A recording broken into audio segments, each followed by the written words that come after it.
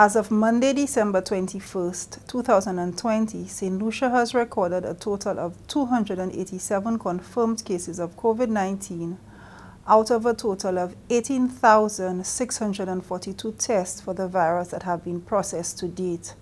We have recorded a total of 243 recoveries and a total of five COVID-19 related deaths. Currently, there are 22 active cases and there are no critical cases in care. There are no new cases reported today, December 21, 2020. The Ministry of Health and Wellness continues to monitor the global and regional analysis of the COVID-19 situation as we actively assess our risks and make the required recommendations to adjust our response to suit. We note the steady rate of increase of COVID-19 cases in most countries as they experience their second wave of the pandemic. We continue to be guided by best practices as we strengthen the existing national protocols.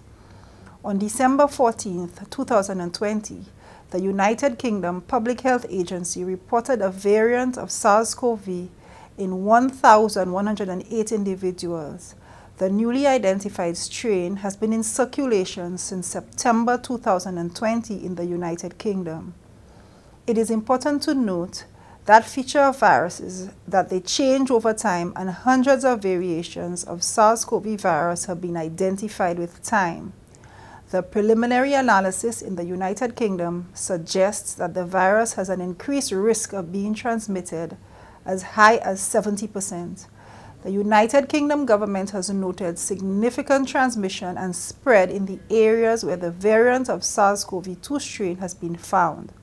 There is no indication at this point of increased severity or harmfulness associated with this new variant or any challenges it shall pose to the effectiveness of the vaccines currently available.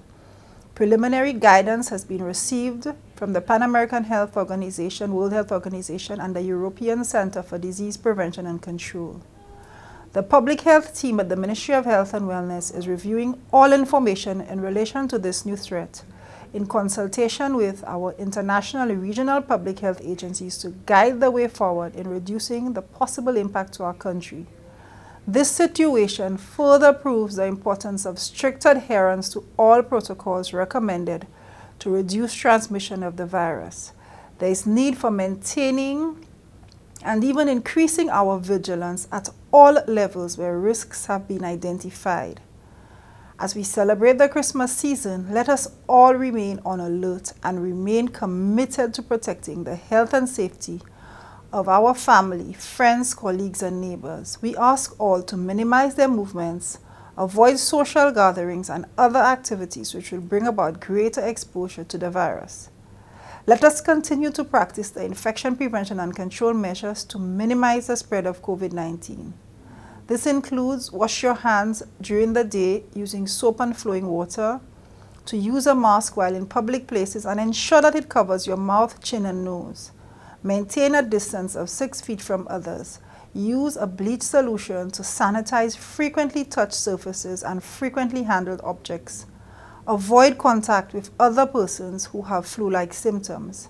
If you are experiencing flu-like symptoms, keep away from others and seek medical care at the closest community respiratory clinic.